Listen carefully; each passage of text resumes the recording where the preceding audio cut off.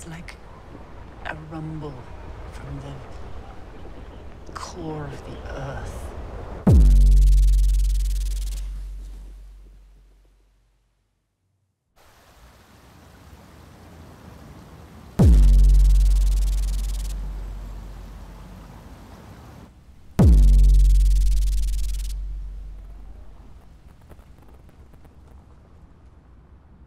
This is probably 6,000 years old.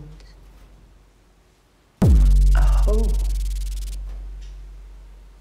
Yes. Drilled into her head to release bad spirits.